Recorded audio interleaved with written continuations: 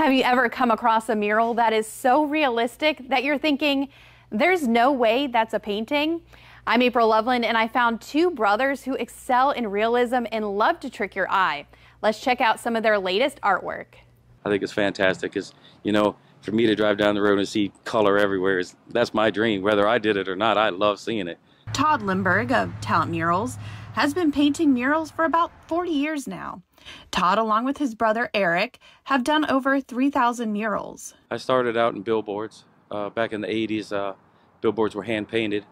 And so I got in as an apprentice and then worked my way up and got to be the lead pictorial artist. And then uh, after that, ended up uh, starting my own business. Their talents have taken them all over the U.S. and even the world. One of the brothers' latest murals is this one on the side of the Malbon Brothers barbecue in Virginia Beach. They used to be uh, pig farmers. This all this land used to be uh, their farm. Almost doesn't look like a painting, right?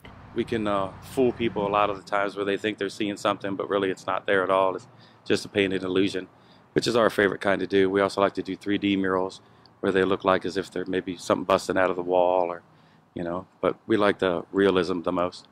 Lindbergh says a mural this size will usually take about one to two weeks to finish, and his favorite time to paint is during the summer. The Lindberghs stay busy. Some of their other works can be found across Virginia Beach and even in 56 Virginia Beach schools. I've always had a job, although I've never worked a day in my life.